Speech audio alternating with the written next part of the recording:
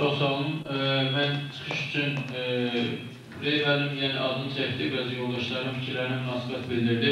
E, fikirlər olsa, tarix evlərinin namizədi Bəhmən Əliyevin çıxışından sonra yəni əgər istəsələr fikirlərini söyləyə bilərlər.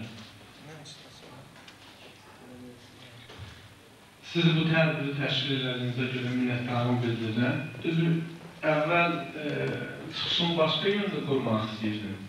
Mən fikirləşirəm ki, milli ideologiyanın formalaşması üçün müstəqil 20-ci müstəqilliyini qazanmış Azərbaycan dövlətinin başqa dövlətlərin, o cümlədən Türkiyə, Orta Asiyanın, Türk respublikalarının, başqa dövlətlərin elmlərini öyrənməsi vacibdir. Məsələn, mən Türkiyə Xalq elmi ilə Azərbaycan etnoqrafiya elminin arasında bir e, bənzərliklər tapmağa çalışırdım. Yəni, e,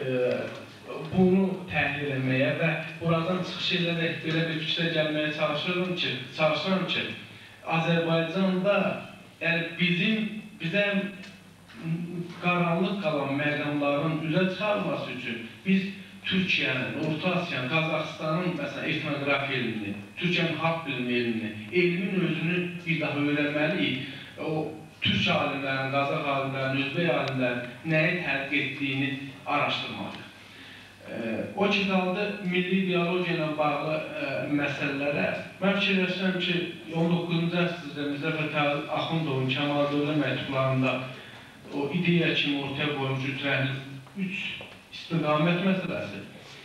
Artıq 200 ildən çox Azərbaycan müxtəlif siyasi cəmiyyətlərdə yaşasaq da, müstəqil olsa, o müstəqillik dövründə müharibələr dövründə, imperiyalar dövründə olsa 200 il ərzində formalaşıb bir min illərin min illərin ruhunu əks etdirən bir bayraqdır. Bu bu ideyalar həm də bütövlükdə Azərbaycançılıqdır. Bunları bir-birindən fərqləndirmək, bir-birindən ayırmaq çox çətindir.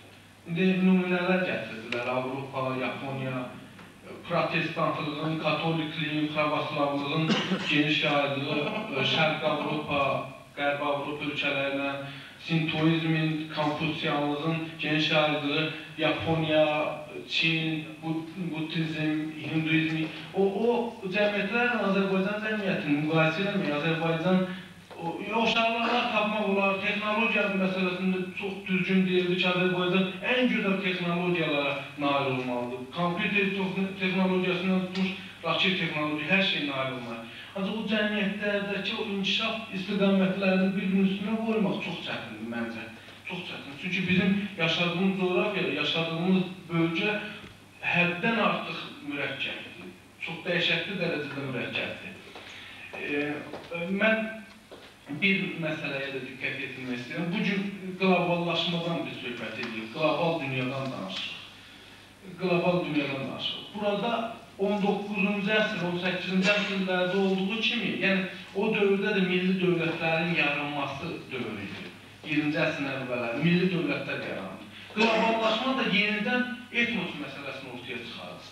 Yenidən etnoslar arası münasibətləri ortaya çıxardırdı. E, bəzən, məsələn, e, Cənubi Azərbaycanda yaşayan 30 milyon soydaşımızın hal əhvalı, insan hüquqları məsələsi, onların yaşam tərzi, onların hüquqları məsələsi ortaya çıxdı. Kərkükdə kərkük düşlərinin məsələsi ortaya çıxdı. Bu təkcə bizim istəyimizlə bağlı olan məsələ deyil. Bu qlobal dünyanın inkişafı ilə bağlı bir məsələdir. Azərbaycanda nəhəng iqtisadi layihələr həyata keçirilir. Çox böyük işlər görülür. Böyük işlər həyata keçirilir. Və bu Azərbaycan dünyanın nəhəng bir prosesə, qloballaşma prosesinə e, necə deyim, töhfəsini verir. Məncə bu, bu dünyada baş verən bu qloballaşmanın əleyhinə durmaq mümkün deyil. Əleyhinə duranda bir də baxarsınız ki, siz idarə olmuşsunuz. Ancaq orada mühüm məqamları müəyyənləşdirib özün üçün, yəni Azərbaycanın qlobal düşünüb milli hərəkət edənlər, Azərbaycanın milli ideologiyası, Azərbaycan xalqının istədiyi, bu ölkə vətəndaşlarının istədikləri həyata keçir.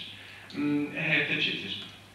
Bir də ə, e, mən fikirləşirəm ki, ə, e, e, bütün o gerblərin, gerblə, bayraqla bağlı müxtəlif fikirlər, müxtəlif fikirlər söyləmək mümkündür. Mən yenə deyirəm, fikirləşirəm ki, bu bayrağımızın məsələn artıq 200 ildən Müzəffər Fətəli Axundovdan, o ondan sonra Kəsən bəzərlərdə, ondan sonra 20-ci əsrin əvvəllərində, e, sonrakı dövrlərdə 200 il ərzində formalaşmış bir ideya. Bu 200 il ərzində formalaşmış bir ideya min illəri əhatə edir.